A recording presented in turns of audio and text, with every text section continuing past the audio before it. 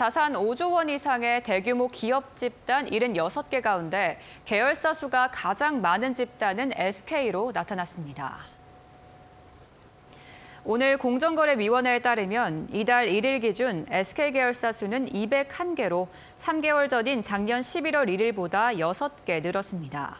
특정 기업 집단의 계열사 수가 200개를 넘어선 건 1987년 대기업 집단의 지정 제도 도입 이후 이번이 처음입니다. 계열사 수 2위는 카카오, 3위는 GS고 하나와 롯데가 그 뒤를 이었습니다.